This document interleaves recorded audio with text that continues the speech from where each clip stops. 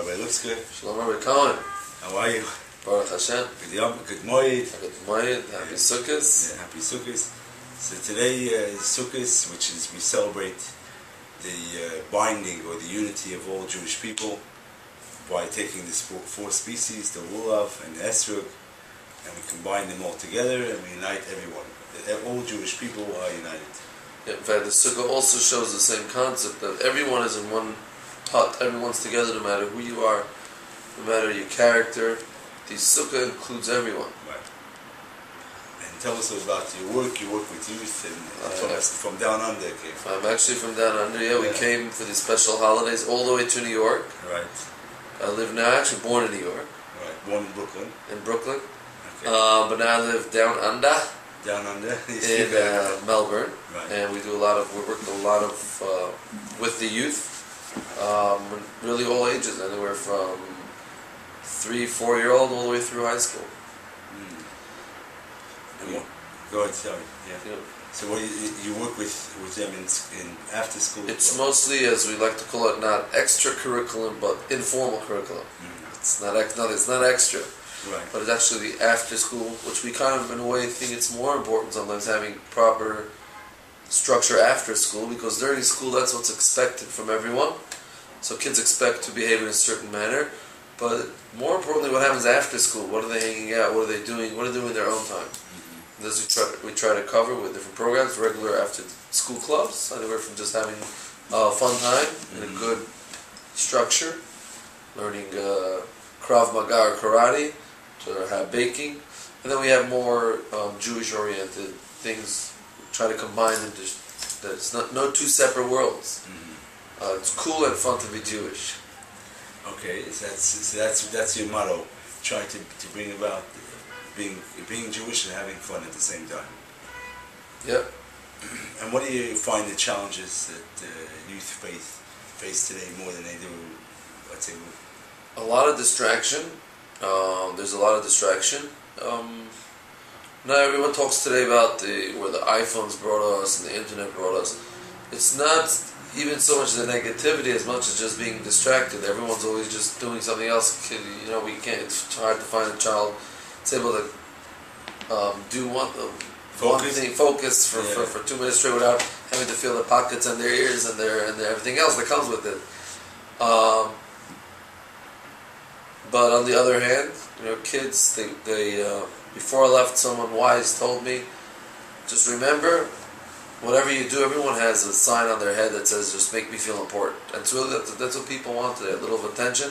So either they can express that with silly tweets or wasting your time in other places, or that's what we're here for, to give them a, a positive, positive attention, to reinforce them, encourage them to do positive things. Uh, we have a lot of these programs that encourage um, volunteering, volunteering and helping other people more than wasting, trying to get attention through silly ways. so what kind, what, what's the volunteering? like? They volunteer anywhere from going to houses and helping out other younger children with homework to just taking, uh, giving parents a break, uh, helping clean up the house, or just taking kids to the park, uh, and all sorts of those stuff. And we also have a special needs program where uh, children with special needs need more attention, so we send a few more volunteers. And it's a tremendous, tremendous thing. The families get to experience, on one hand, the break, and, and really a source of friendship. And it really empowers. Sometimes you come to help someone else, but really you're helping yourself. You feel, you know, they get the children gain more, the volunteers gain more. They feel how powerful it is to be able to help someone. It's very true that uh, if you want to be happy, you have to make someone else happy. A smile cannot be bought, Yeah. and, and it has to. So, um, you want to tell us uh, uh, some stories about the, the Ushpizin maybe, or about some interesting stories of the. Actually, the Ushpizin Rabbi Cohen's talking about that we have customary in the Sukkah seven days, and it's uh, in the holy books. It brings that uh, there are special spiritual guests that come to us every single day. We have the main guest. Um, there's the guest. Abraham comes the first day, uh, Isaac the second day, Jacob the third day, and so on. Uh, Moses, which is today. It's the fourth day of Sukkot. Moshe comes today. His brother Aaron tomorrow, and then goes uh, Joseph, king and prince of Egypt, and then uh, the final day is uh, David, King David. With them actually come also in our Hasidic tradition is also our seven Hasidic rabbis that come, or rather nine, starting from the Baal Shem Tov. So today is the fourth in the line, and that is the Alter Rebbe, the uh, actually the one that established the Chabad movement. Um, you know, very very spiritual person, as you can imagine. He, um, the author of the, the author of the Tanya and the, and the Code of Jewish Law. The car, um, and his child he has a tremendous tremendous story. The um, that his son, which is today's uh, guest, is the middle Rebbe, the middle Rebbe. Right. His name was Reb Dovber, and he was once in the evenings learning, studying, and he was a true Torah person. That we could find the clear connection between the guest Moses and the Alter Rebbe's son, that guest, how they were both well, truly well, Moses was the, the giver of the Torah, right. and he, they say that there's a, a spark in Moses in every generation, in every one of us. in every one of us and in every Jewish, especially in every Jewish leader. Right. Um, and his so the Alter Rebbe's son, Reb Dovber, was once very engrossed in his learning. He was very famous for that. There was an old expression that if you'd cut his finger open, you wouldn't have blood pouring out. You'd have Torah or Chassidus, to be more specific. And a baby fell out of the crib, and the the amazing thing is that he was so engrossed in his learning, he actually didn't hear the child crying. He was just in a different world. He was such a spiritual person. But interestingly enough, his father, which was the Rebbe at that time, heard the child crying. This is the Alter Rebbe. The Alter Rebbe, the founder of the of the uh, Chabad movement, and obviously also very spiritual composer of two very famous Jewish works.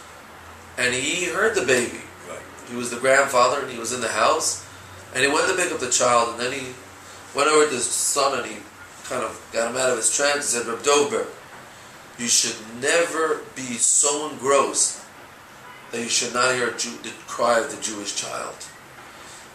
Never be so engrossed. It's great to be on a spiritual high. We're all searching for something spiritual. more spiritual, more meaningful than just life itself, trying to reach higher. But as we say, head in the clouds, but feet on the ground. You can never be so disconnected to, to miss the cry of the Jewish child. And that's really, and, and that's very relevant for today. That today, today, even though there are children, not only physical children but spiritual, you know, it's older children that are crying and yearning for something more deeper and more. that's true. So either they are physically crying or spiritually crying, or sometimes the hurt is so much and they're missing so much they don't even know to cry. And that is really what our Rebbe, the Lubavitcher Rebbe, encouraged us. And that's what we're here. That's why I made it down to Melbourne. To go I out. remember the, the night I got engaged was actually uh, so my wife's also from New York. We didn't just Right. move to Melbourne. It was a big move, obviously, up to New York, or Right. Melbourne. But a very close friend of mine, we got engaged the night of the birth and the passing of Rabbi Dovber. And uh, he was actually on the same day, similar to Moses again, by the way. Another one of the. It's a very special thing to die on your birthday. That means God completed your years. Moses was born and passed away on his birthday, and as I'm thinking now, Reb Dovber also another similarity. They both he also was born and passed away on his birthday, and Reb Dovber. And that night, a friend of mine said, "Don't forget the cry of the Jewish child.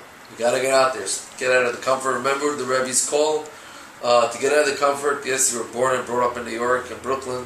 And It's very cozy here with all the all the- stores available. and all the guests Thank- coming and all the people. But not to forget the, the cry of the Jewish child, of any child. So anyone out there is to respond to the cry of the youth today, whether they are physically asking for it, uh, even though you may say, well, Well, they're not asking for it, they're quite comfortable.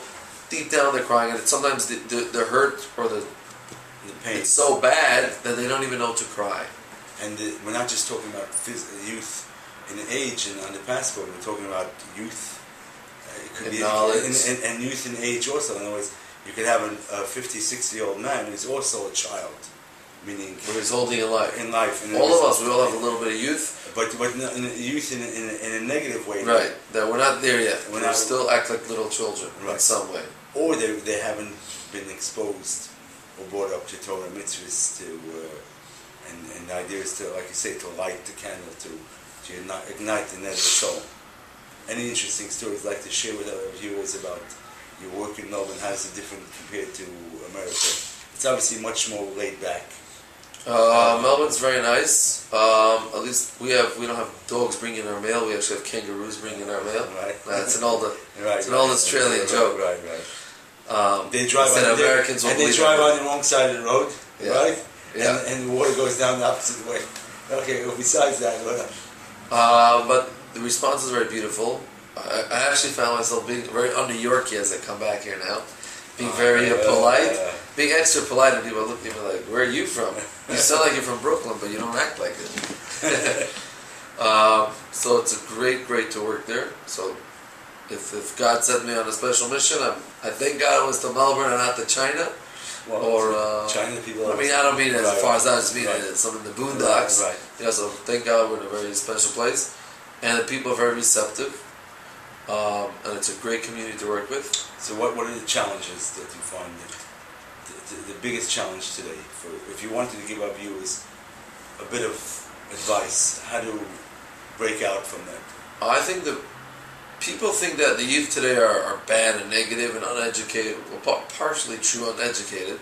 But I, I'm going to go back to what I said before because I think the Rebbe actually once pinpointed this in a discourse, seemingly a spiritual discourse. The Rebbe actually pinpointed as uh, psychologists today are trying to scratch their heads and figure, you know, what, what's the problem with today's youth? And it's actually quite simple. They need to understand how powerful they are and how special they are. Now, and there's an old saying, he said, you don't have to scream at the youth and tell them how terrible they are. They know already. So we're just going to come and, and continue to try to, you know, break them and tell them how bad they're doing, etc.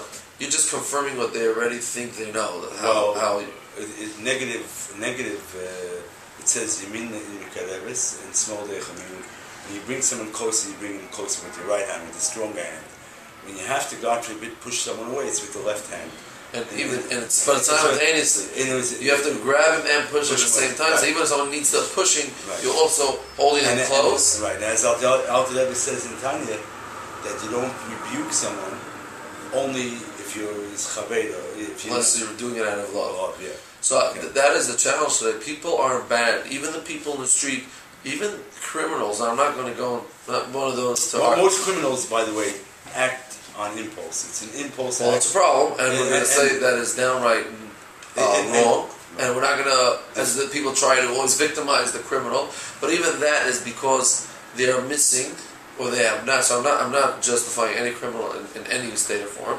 Um, bad is bad, and I hope that that we, that we have to make it very clear. Right. Let's not blur the lines as many tend to do. Oh, you know, it's Right. bad is evil is evil and bad is bad.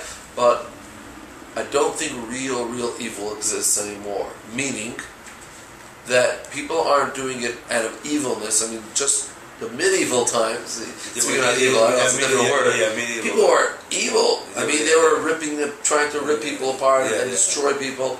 Now, the truth is, in some countries, they'll say, um, Well, I think some of that still exists until Mashiach comes, and that's what God says He will eradicate all evil. So some of that uh, medieval, medieval evilness uh, Exists. but for the most part, people are, are seeking. They don't think they're. If they would know how powerful and special they are, each one is a gift from God, and they have the power to change the world positively. I don't think they would be looking at negative things. Whether it's a kid on the street that's not in, Jew and non-Jew. Jew and non-Jew, whether it's a kid that's off the street, not in yeshiva or school anymore, Right. not necessarily because he, he wants to make trouble, it's just he's look, he doesn't think he's, you know, either his parent never told him it's important, or his teachers don't think it's important, or he, and then he himself doesn't think his work's important. So if I learn something, what does it make a difference to anyone in society? But we have to hear God's call that no, every single person is important. You can make a difference, and there's no, no person extra. If uh, you didn't, if you didn't need to be here, I guarantee you, God would not let you exist. Right. Every everyone Every has person is a piece of the puzzle. right. Everyone has a, a, plan and, and a mission to do. Let's, let's talk about the idea of Mashiach. Mashiach, you said we're, we're living in a time of Mashiach, and everyone could contribute to that that greater. Mashiach is, is a time, like you say, evil will, will cease to exist. There will be no more evil, no more strife. There will be goodness and kindness and uh, greed and all the, the terrible things that exist now. War, except, except hunger, will cease to exist. Um, and every one of us could make a difference. Hundred percent, because that's really what it is. Uh, first of all, it's about every action counts. Right. Every Maimonides says the right, world's right. on a scale, Scale, right. and a scale. All you need is one extra action to tip that scale, but also to create that era. So yes, it's God given. Messianic era is a God given thing, but what it, it's very clear and simple why everyone can make a difference because part of making that era is everyone doing their little part to change. So you think uh, you have to make a world of a difference, and that world of a difference start from home. No, it's- it's you act a little kinder. It's a that- simple act. it will have that ripple effect, and eventually, and then in that way, the world will become kinder. The world will be a vessel, so to speak, and ready for this uh, It's interesting that the. Mashiach, that the Rebbe said we're living in the times of Mashiach, and he said that we're the last generation of Golas, of exile, and the first generation of Geula, of redemption. So the question is asked, if you're the if you're the first generation, obviously the last you're the last of, of exile. The answer is um, we could, in our mindset, could decide what way the way we want to live now. Our our mindset could either be living in the past or looking to the future. yeah. And, and by looking to the future is like you say, doing one simple act and uh, making making the world a better place. Um, If, I, if everyone thought that this could be the last action, if you want to be like you said, still living, okay, we're still the last generation of, of exile, or you can think, wait, it's it's about to happen. Let me catch. Let me just let's chaperai. chaperai, as in Yiddish. Just Chaperai. catch. Chaperai. Now you can translate chaperai. Got to just catch. Um, Uh, no, seize the moment. Yeah. Seize the moment. Chaperai. Seize the moment. yes, Gra- grab the opportunity. because this could be you. Could your mitzvah could be your good deed. Could be the last one. And uh, I think youth have to realize that. Youth youth have to realize that, and, and when they realize it, that's why they've given all these tools and all these ability to do things. Yeah, in fact, I mean, getting back to before, the all these cell phones and all the uh, all the mishigasin that we have today actually could be utilized. To, I mean, the world has become tiny in a positive way.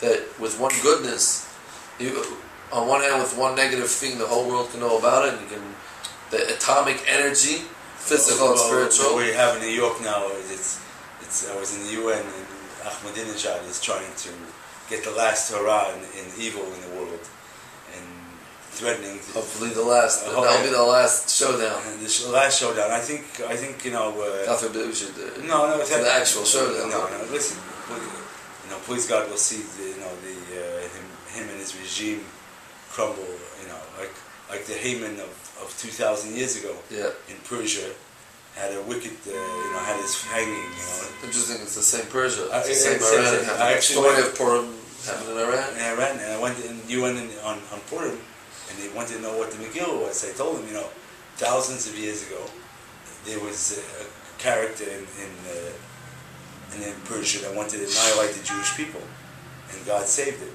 and turned it with Queen Esther. So we have now that same opportunity. Who's the queen?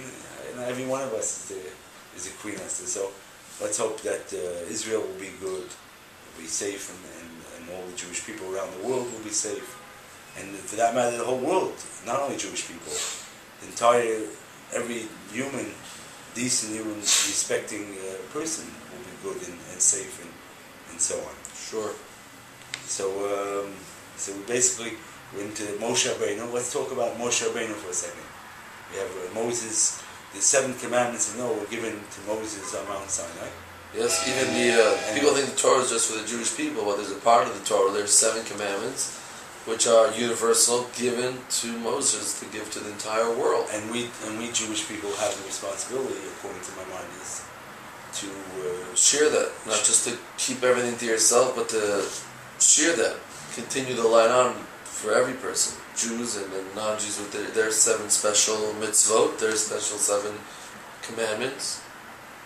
and how do you find in, in, in Australia people are looking, uh, people are busy uh, running. People, I guess. You always find every, Yeah, every- every, everywhere. type everywhere. Right. People think, yeah, what, what do you think Right, of Australia? right, you think people are going to walk on their heads? And, Right, right, right. It's, It's all the same. people people, but uh, good people, better people, and then people that are openly receptive and or Right. just got a little uh, uncover their uh, The, the goodness. their goodness. And I think uh, Moses was that faithful shepherd. shepherd Moses is interesting. That, that went after that single sheep that, Yeah, that had that, that actually was abil- had ability.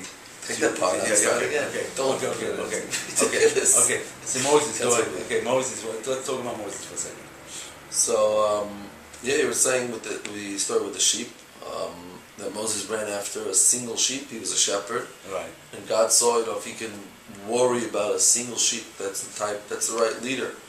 And interesting, Moses was actually says the Torah, the Torah of truth says that Moses was the most humble person Oh, in the world. And that actually speaks says that when Moses saw the simple folk, people like me and you, and our He was- sages say specifically about the our generation, the last generations of, I'm a of before Mashiach, and he saw that despite all the struggles and despite all the darkness, that people are still good. We don't have all the revelations at the time of the Holy Temple, We in the time of spirituality. For the, I mean, even in the Holy Temple, even the non-Jews were able to experience some type of this godly experience. But even in a time where we don't feel this, and God is uh, not always prevalent, f- felt, um, and then Right. his, his existence isn't always felt. In fact, you have a world and a society today that tries to block it out. Well, the media. I think the media is it has media. Call the universities, media, Yeah, I, I think the, the media is also uh, has when I well, when I was a kid, the media was more in tune with doing the right thing. Today, it's about uh, And nonetheless, people are still still doing the right thing, still praying, still believing, and still doing the right thing. And that's what Moses said. Wow. and volunteering in Melbourne, Australia. And um, what, what do you think of the whole idea of of the of, of the Moses of our generation? The Rebbe was was was a leader Was like the Moses of our generation, Yeah. which It says Moses. Moses is this. Moses never ceased to exist Right. because every generation there's that leader that Which- worrying and caring about every single person. and, and brought the flock. He cared about every certain every Even the last little sheep. Yeah. Um, I, I personally experienced, you know, you've also experienced the Rebbe, maybe not as much as I Was a bit younger, but yeah, yeah, yeah, But the idea that the Rebbe was a, a shepherd and still cares about the, the Jewish people, and not only Jewish people, but the world in general. He cares about the universal world as a whole. He wanted World peace. World peace. He wanted to implement the moment of silence in, in schools, which I think in Australia, I believe, is. Uh, they're Right, in starting America, it's becoming a bit more popular. The concept of of- Rabbi Cohen is talking about, a moment of silence, that they, uh, that of course they, they don't let prayer um, in in schools, in the in the public schools, in the government schools, uh, but nonetheless, the Rebbe was reminded this is a country freedom of religion, not freedom from religion. Uh, so we don't want to impose a specific prayer, but there should be this moment of silence. Um, and the fact of the matter is, in public schools, the, the less godly they are, the more chaotic there is. There's no eye that's watching. Not taught about it. The eye that's always looking whether the cop is there or not, whether the police is there or not, whether the law enforcement is is, is over your head. It's not about that because the moment the law enforcement leaves, they're back to the same Right. shtick. Right. And the point is to remember that there's an eye above that's watching and listening And, and more And- importantly, loves every every and, is, is waiting for you to do the right thing. right? Cares about it. Yes. cares about Um, it. so instead of being a specific prayer, because you have so many different types of religions, Right. thank God America is a place of that's. I mean, really, this is the multiculture is amazing. Whether Christian, uh, Jewish, Muslim, so we want to, not necessarily want to impose uh, specifically, but at least a moment of silence shouldn't be unlawful. Just that a child should be able to have start their day off remembering something higher than them. Let every parent tell their child um, what they should be thinking about. Right. But this concept that there's something more and something higher, something above uh, to reach to. Yeah, that's very important. Anyways, I want to. I think we have a few more minutes. So I just want to thank you for your time, and uh, you know, Always my pleasure, and, and we always uh, we studied we we taught together actually on the uh, and study together. study together on the uh, we and the idea that every person, whether young or old, can make a difference, and it's it's never too late to start. Period. And everyone makes a difference. That's very important. And not, don't And- and every- underestimate, uh, don't underestimate your, your little actions That's very yeah. because that goes a far, far way. I mean, every action matters. Even yeah, even something minute, a little favor, because that person's all of a sudden that ripple effect that hey, I want to be a nicer person. And Sukkot really represents that unity, that that uh, All including. all including that everyone is including, and also non-Jews also brought the seventy bulls, The Jews, Jews people brought for the non-Jews Right, uh, right. special sacrifice, including the seventy nations, all all nations. Yeah. an idea that uh, that we're living at, at a very special time, and it's it's really up to each and every one of us, like I say, to to move forward and to be positive and to to look forward and to utilize your talents, your God-given talents, in the right way. Everyone could utilize it, but that choice, that free choice, everyone has that free choice, and it's about making the right decision. Making the right decisions. And that's it's, it's doing small acts, but doing it constantly, making that making the decisions. And, 100%. and any any other stories you'd like to share about about Australia, about uh, about uh, any other uh, any, anything interesting comes to mind about the Rebbe? Story about the Rebbe. You would like to maybe end off with a story of the of the Lubavitcher Rebbe. Um, No, no, no, no. Okay, okay, okay. Okay. Uh, well, maybe I'll tell you one story. We, we can end off with one little story. That um, someone uh, that someone came to the Rebbe, and the Rebbe uh, would always have this, this this idea that darkness is a non-entity, and evil is a non-entity. Meaning, evil that exists in the world is a It's non. just a lack of light. It's a lack of light, and light is is univer- is is um, not universal. The word is it's um, nitzchi. How do you say? Um, it's ever eternal. Light and mitzvahs are eternal. So we can't. Every mitzvah that we do has an eternal and an everlasting effect. So even though we don't see the direct result now, but the mitzvah and the, and the effect is eternal. Take a look right now. Look how many how many Jews came from all around the world, from Australia, from Israel, from France, all to, to the Rebbe. How many thousands and thousands?